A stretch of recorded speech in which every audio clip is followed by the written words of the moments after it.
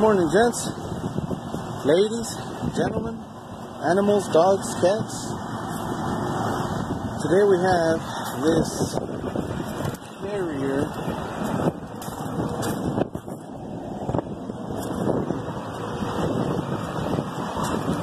There's a model number somewhere. There we are.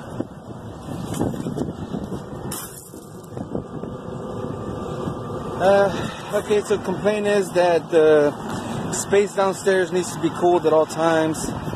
Even though we're at 30 some degrees, they still need this AC running, and space is 80 degrees. I already tore into it.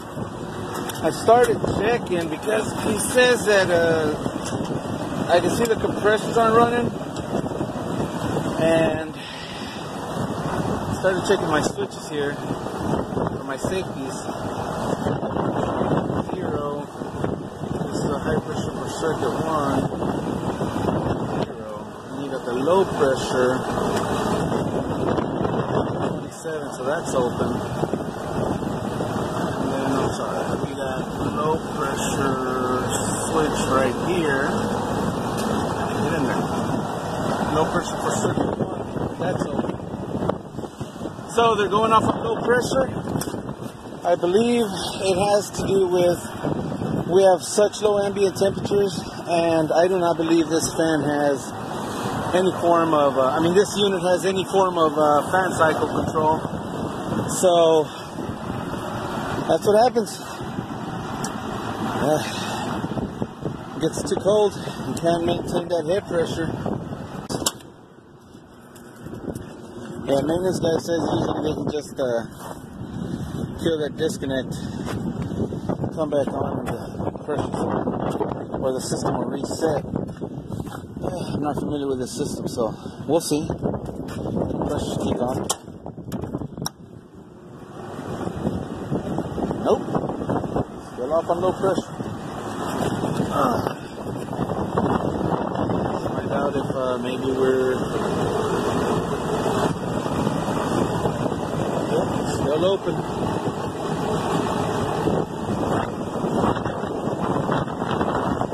Circuit one, circuit is open on low pressure, so. Alright, let's tear into it and see what we find. Uh, Alright, Jet, so I got my Fieldpiece probes on both suction lines. And if you look, I have a standing pressure of about 112, 111. So I already know both of my low pressure switches are open. Now I just need to see at what pressure do these switches close at so I can so I can have compressor come. Alright, so this is what I figured out so far. Both pressure switches are open on the low side. They cut out at 54 psi and they reset at about 117. Now, what I've noticed is my pressure, standing pressure right now, is approximately 114. So it's right about right about the edge of where it wants to reset. So what we're gonna do first is gonna adjust this belt. I'm gonna adjust this pulley. We're gonna adjust that belt. What I'm gonna recommend to them is uh, once I get it up and running, uh, once I get this belt done, I'm gonna use this hose to dump some some of the uh, high side liquid into the uh, suction side, just to close that pressure switch. Uh, that'll get my compressors running and button it up. I'm gonna go recommend that we do a uh, some sort of fan cycle control because we got two fans running full speed and we're just gonna be dealing with uh, head pressure issues. So they have approved it, and we are now. So here we are. This is what we're gonna use fan cycling pressure control opens at 300, closes at 400 PSI. So there it is.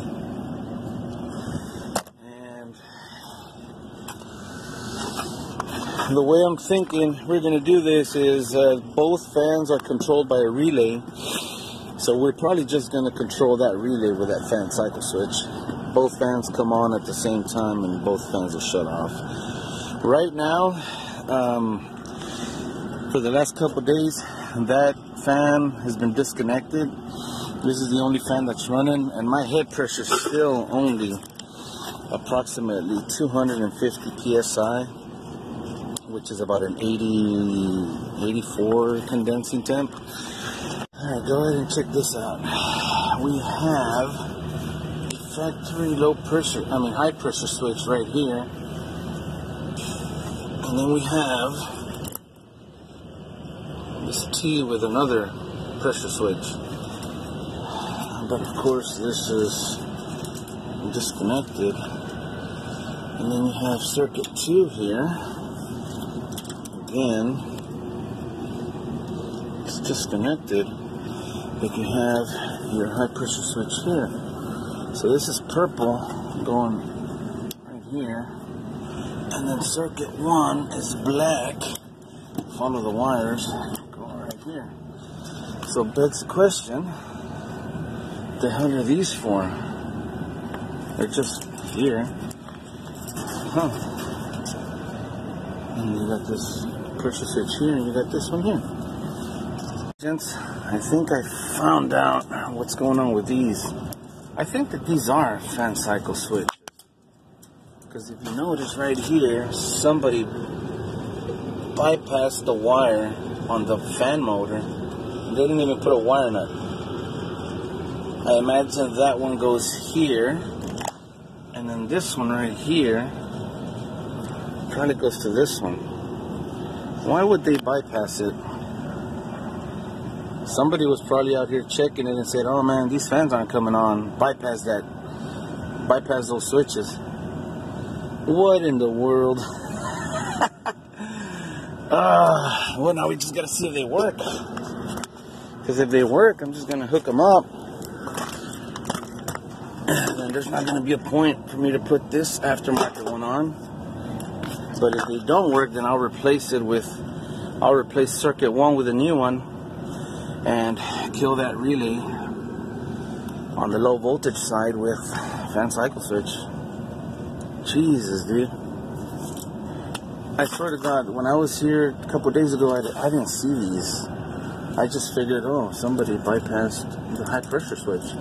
But these are not high pressure switches.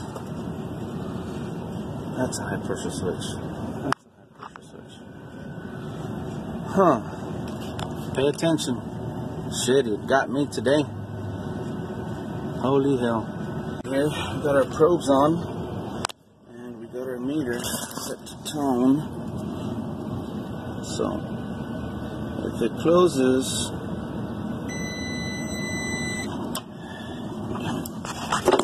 meter will go off on tone.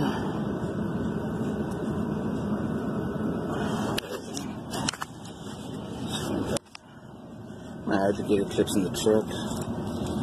It's a good place for them when I need them. So, alright, so I got the uh, relay disconnected so the fans don't come on. We're just gonna watch that pressure. I don't see at what pressure these guys close at, so we're just gonna we're just gonna monitor it with Measure Quick app. So there we go.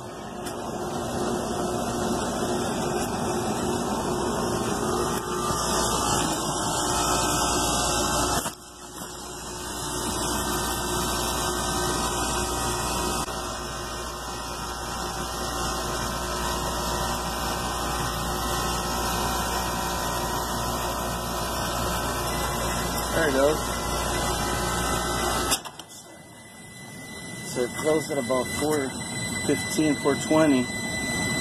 And now let's see when it shuts off. So that fan cycle switch is good. Wonder why the hell someone bypassed it.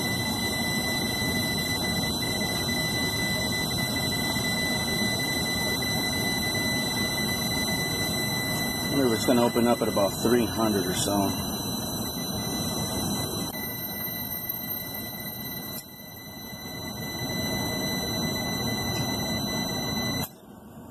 Two forty or so. 80 condensing. Hmm. It's a little low, I think, on the low side. But if that's factory, I'm not even sure if that's factory or not. Maybe someone installed it afterwards. I would imagine someone did. And we're just gonna we're just gonna connect them back up. That's all their problem is. It's head pressure issues. That's crazy. Alright, it's wired up. We got both fans wired up. And you can see if they both work.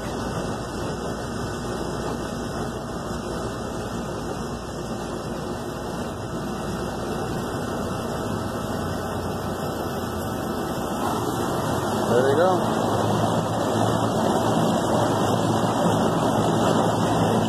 That is crazy. Somebody just decided to bypass them and created a service call for themselves. Or maybe it was a different company. They said they've had this problem for years, so.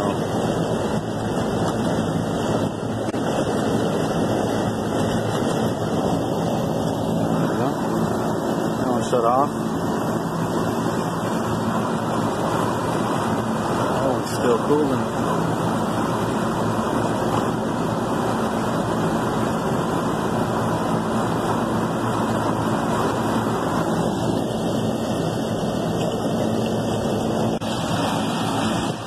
It's actually not bad.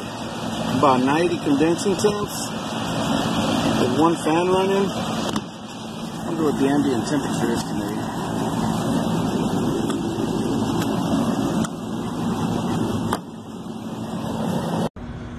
All right, gents, my phone died. I really couldn't get any more video, but essentially what I did was I just re, uh, you know, I reconnected those fan cycle switches on circuit one and two, and his unit's operating fine. I'd rather um, leave it factory and then monitor it here in the next couple days, couple weeks. And uh, if they continue having problems, then at that point, I'll come in and install my fan cycle switch. I still got it right there. So if they continue having problems, I'll come in and install that fan cycle switch and I'll just uh, control the relay and just have both fans going um, at the same time. I mean, uh, I still have no idea why somebody would bypass them. I mean, I guess the things you see out here. So that'll be it, gents. Um, this unit is running fine, and we're gonna call it a day. We'll call this a day, and we'll see what happens here in the near future. Thank you for watching, and see you in the next one.